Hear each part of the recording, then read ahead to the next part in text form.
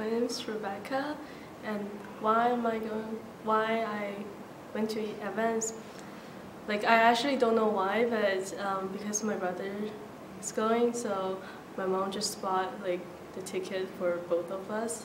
So I just went without like any notifications, and then and then things I learned from ADVENT, um, there was actually a lot. It's very life changing, and um, I learned how to um, live with like one another's, and um, and then um, like I actually like during the process of spreading the gospel, um, I think God Himself actually um, revealed his love to me again, once again, and then emphasized it in my life. And then, um, and I just very encourage everyone to go. It's not that comfortable. It's very hot in Taiwan, and then it's just, but it's, it's very, very worth it.